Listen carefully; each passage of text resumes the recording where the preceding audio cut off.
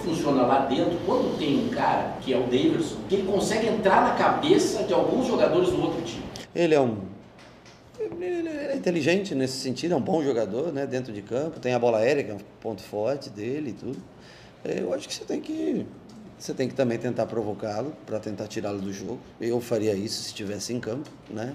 Eu faria isso aos 40 anos, aos 36, talvez aos 23 eu também discutiria e brigaria, mas eu tentaria fazer exatamente com ele o que ele tenta fazer. Não, não acho uma atitude, eu acho que é normal. Ele leva o jogo do jeito dele, é um menino alegre, feliz, tem que levar o jogo da maneira como ele acha que tem que levar. E você tem que tentar também, de uma maneira ou outra, desestabilizar o jogador para tentar com que eles fiquem com um a menos antes que a gente fique com um jogador a menos.